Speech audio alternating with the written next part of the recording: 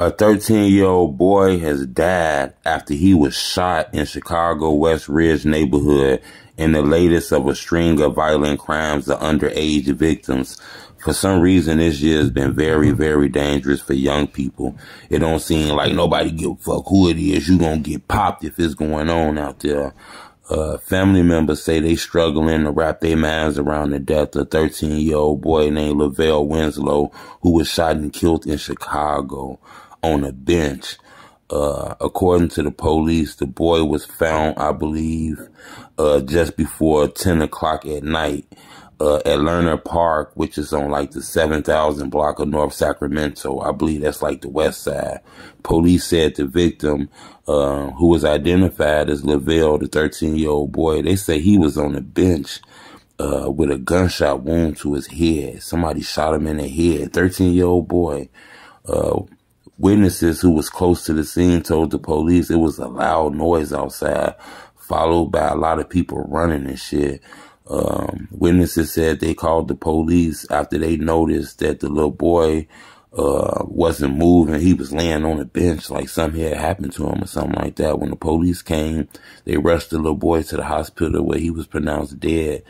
Um, said too. The crazy part is this like the latest incident in a disturbing trend, to be honest with you.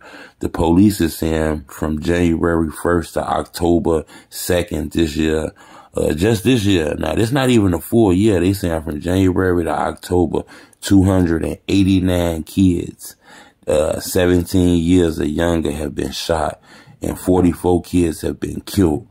Um, they say just this year, 70 kids age 15 years and under.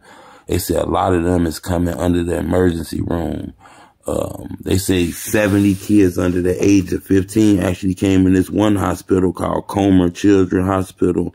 That's just one hospital. It's a lot, a lot of other hospitals in Chicago, but this one hospital saying they just seeing the kids getting shot coming in a hospital at an amazing rate, which I find crazy. Um, I can recall the story of, uh, I think it's Nizaria Moore. It's hard to pronounce her name. Uh, she just turned 12 years old. She was killed on her birthday. I believe this was in March. Uh, that said, too, I believe um, a five month year old was actually killed in a drive by this year too. A five month old baby was actually shot and killed in a drive by.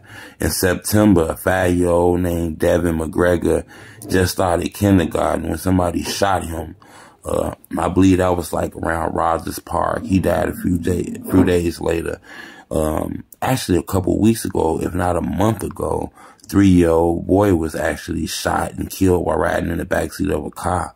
So that's just letting you know that these murders is getting to an uh, alarming rate. Um, the person who killed that 13-year-old, you know, he's still on the run. He wasn't caught now.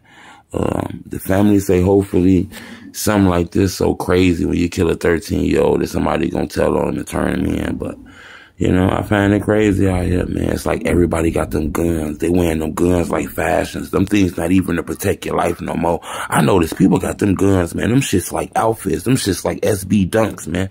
They got them things on as fashions. And these shorties that use this shit, they young. They don't understand that their life is valuable. So they'll take yours away. They don't give a fuck about their life. So what make you think they give a fuck about your life? So. I just wanted to bring that attention to you that a 13 year old was shot and killed in Chicago, man, laying on a bench, lifeless. We got to be better than this, Chicago.